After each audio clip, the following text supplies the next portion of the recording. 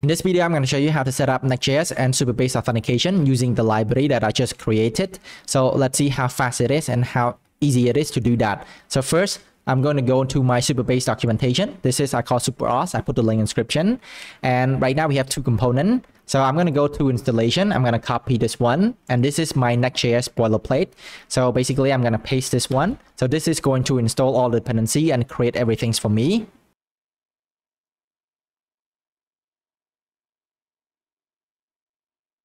All right, so the next step that I'm going to do is I'm going to create a component that I want to do register right here. So I'm going to copy this command right here, and then I'm going to run this one. All right, so right now the installation is complete. The next step that I'm going to do is to fill out the environment variable here. So I'm going to do that. So I'm going to remove this one and paste all of the key that I have. So I'm going to press save this one and right now I need to, all I need to do is just create a register page. So I'm going to do create register right here. And then let's go into page.tsx and then I'm going to run this snippet. And then I'm going to import the register component that I just created. Okay.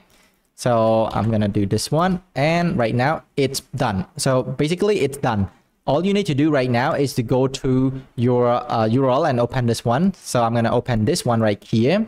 And then I'm going to go into the register. And so this is going uh, show me the register component. So as you can see, this is what it looked like. So right now, don't worry about making it to the center, just test it first. So to test this one, I'm going to use my Gmail right here. I'm going to give the email one, two, three, four, five, six and this one, this one, and then press continue. So if it's working, it's going to send the code to my Gmail so you can see. And then if I come back here, and then I can see that this is the new email that sends to me. This is the code. I can just copy this one and I can paste and it's automatically lock in. It's block me from that page because I already log in. So if I navigate into the register again, it's not working. Okay. So if I go to register, so you can see since the user is logged in, I cannot go to that.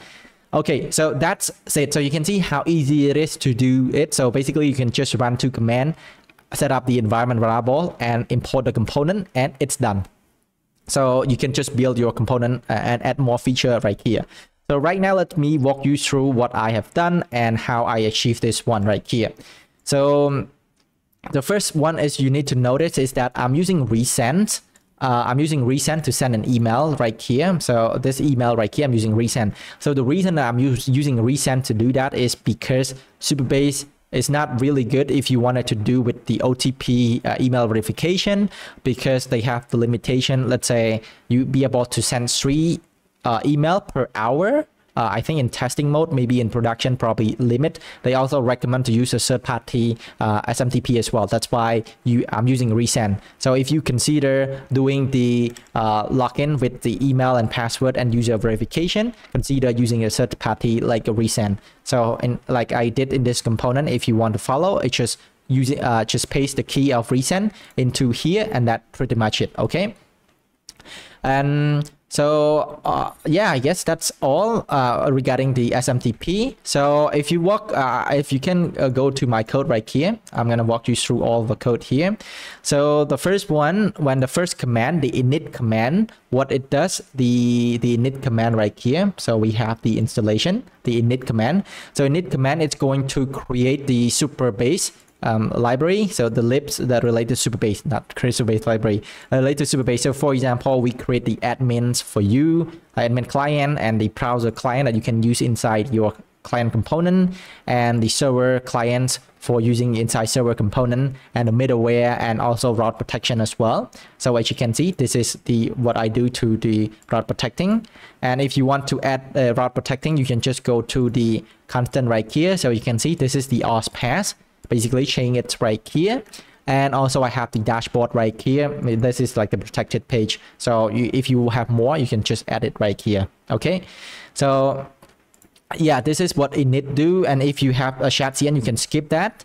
And for the second command is to register right here. It do a lot it create a lot of files. So you can see first it create the components that it needed and the server action the api route and also all of the dependency right here that it's need to install. That's why it take a while to install uh, this component. And uh, if you go back into here inside the SupaAuth, we have all the component that you can see right here. So all you need to do right now is use this one to, you know, if you don't like anything, you can just change this one based on your application. Okay. So you can just go and update this one. And we, I have all the source code right here already. So you, basically you can just uh, go and change it. And right here I have an API that this API is responsible to send an email for the user to do verification. And I think the best practice on this one is you need to do rate limit. I would recommend you if you going to implement this, you need to do rate limit. And to do rate limit, you can check out my video. I have uh, explained on how to do that as well. So the reason that we do rate limit is that when we send an email using resend, resend only able to send a hundred email per day in free tier, a hundred email per day but um, so if so that's why we don't avoid spam right? We don't want anyone to spam. So if you want to have like a default this one with rate limit comment down below i'm going to update this one. Or maybe i can set up in the documentation for you on how to set it up on your own as well. Maybe some of you don't want to do rate limit. Okay? And here is not very it's really uh, simple. And so basically all you need to do um, it's just out of the box for you and we have the uh, this one so this is uh, uh responsible for the uh, OAuth uh, for example login with GitHub and Google and things like that this uh, route right here and the, we have the server action right here that do the verifications on your OTP that you get from your emails and Although this is, I have the email templates right here that is existing for you as well. Basically, you can just update this one based on your application. And yeah, I guess that's all. That's all what it does, the component. Right now, the authentication is complete uh, for the registration and sign in as well. I think Author OAuth is working as well. So let me show you by that. So maybe if I go to register, hopefully I can still go to yes. And then I'm going to press on GitHub right here. So this is going to do GitHub authentication. So as you can see, it's done. So I think the reason it's done right here, um, because I have set up the provider right here. So all I need to do is just go to GitHub and make sure I enable GitHub authentication in my Supabase. So you can see this process is really easy. Uh, and because I take my time to build this component for you. So if you planning to do this all over again, you don't have to. Um, so basically you can just run this command and get all of the code right here. And if you don't like anything, just go into the code yourself and you know just change based on your application. And that's uh, that's that's what i want uh, to you know get out from this one. And if you don't like it and then you maybe think that everyone might not like it consider contribute. So it's uh, it's mean very much a, a lot to me okay? Let's do that so i think that's it. maybe the next plan that I'm going to do, is this is the first step that I'm just wanted to show you, but the second step that I wanted to show you is the user information. Uh, let's say user, uh, the component that is ready for you to, for example, update your email, update your password, do the sign out, just like Clerk. So if you go into Clerk right here, uh, maybe this one, and then if you can see with Clerk, they have this component for you, like uh, the uh, email right here that uh, show the personal detail like and, and things like that. So i want to build that component for you. So basically you can just like I say uh, user profile and then you be able to see everything right here. And yeah so that uh, you can manage you can sign out and things like that.